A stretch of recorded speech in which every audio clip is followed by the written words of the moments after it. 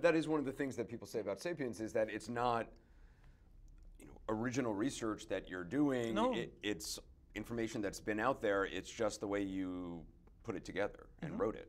So everything I write about Neanderthals or about the agricultural revolution or about modern capitalism is based on the original research of other people and the ideas of, of other people.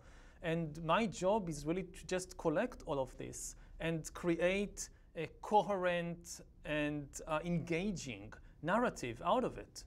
How many different kinds of human beings were there? If you go back 50,000 years ago, then there are at least six different human species that we know about today, but some of them were discovered only in the last 10 years. What if those other species of humans had survived? Mm. How would that change our, our sense of religion? Yeah. How would that change the way we view ourselves?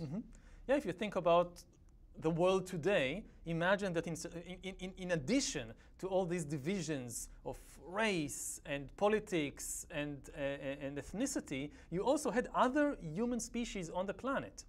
So, what would, I don't know, the, the Christian creation myth be like? Do Neanderthals descend from Adam and Eve or not? Do they get a place in heaven or not?